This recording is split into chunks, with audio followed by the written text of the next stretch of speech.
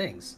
So you know, uh, me at Bubble Tea Builds, right? I build PCs for streamers that you know I want to support and help grow because she has that kind of same mindset too to help get smaller people and get them built the way up. You know, put them on a platform and Does she- showcase their personalities. So that's another side of the content that I help out with is, you know, we both want to help out streamers and get them some better exposure.